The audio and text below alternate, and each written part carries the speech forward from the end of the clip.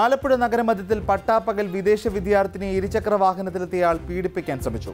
Alappuzha north police കേസെടുത്ത് പ്രതിക്കായി അന്വേഷണം തുടങ്ങി. രണ്ട് മാസം മുമ്പ് ആലപ്പുഴയിൽ പഠിക്കാനെത്തിയ ഭൂട്ടാൻ സ്വദേശിനിയെയാണ് പീഡിപ്പിക്കാൻ ശ്രമിച്ചത്.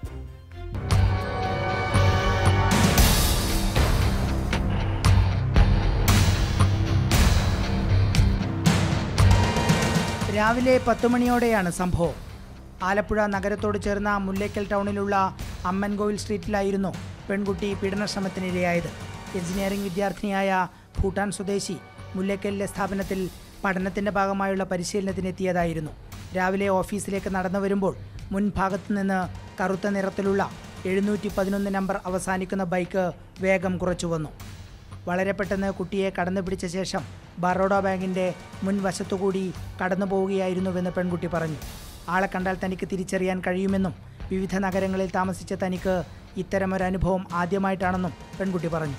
I just like I was just shocked to see and disappointed and sad and angry at that person മത്ലബ് suddenly മത്ലബ് I thought Alappuzha is a safe town സംഭവത്തിന് ശേഷം ഓഫീസിലെ സഹപ്രവർത്തകരുടെ സഹായത്തോടെ ആലപ്പുഴ നോർത്ത് പോലീസിൽ പരാതി നൽകി.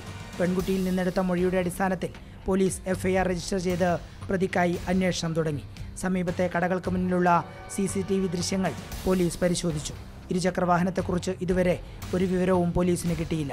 രണ്ട് ദിവസം മുമ്പ് ബോട്ട് ജെട്ടിക്കടുത്തുള്ള പോലീസ് കൺട്രോൾ റൂമിന്റെ മുന്നിൽ വെച്ചും പട്ടാപ്പകൽ രണ്ടുപേർ ചേർന്ന് ഒരു മലയാളി പെൺകുട്ടിയെ പീഡിപ്പിക്കാൻ ശ്രമിച്ചിരുന്നു. ഏഷ്യാനെറ്റ് ന്യൂസ് ആലപ്പുഴ.